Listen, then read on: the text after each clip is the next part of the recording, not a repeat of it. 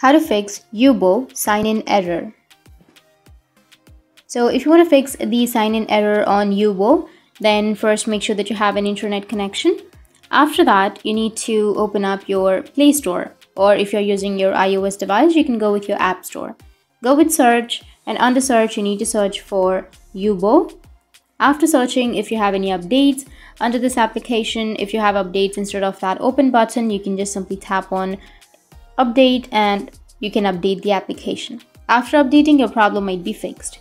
If that doesn't fix your problem, then you can search for Yubo, tap and hold on to that application, go with the app info. Under the app info, you can go with permissions and under permissions, make sure that you allow the permissions like camera, location, microphone and everything.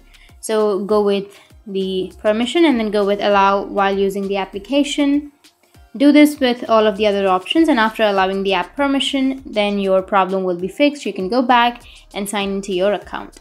So that's how you can fix your sign-in error on Yubo. And if you have any questions, feel free to comment below. Thanks for watching.